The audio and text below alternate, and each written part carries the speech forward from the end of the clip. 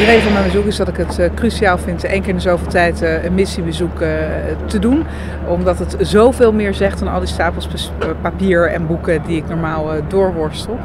dus even horen wat er speelt, wat er, of er problemen zijn, wat er goed gaat, lessen die we kunnen trekken. Ga zo maar door.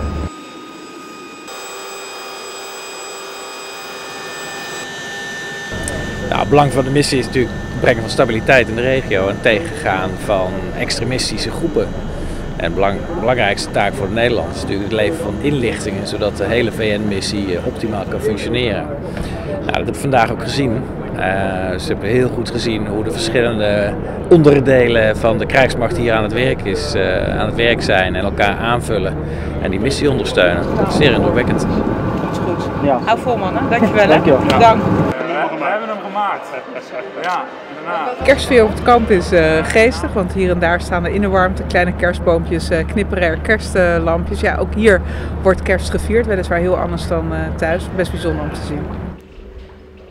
Ik heb zelf ook meerdere kersten in missiegebieden gezeten.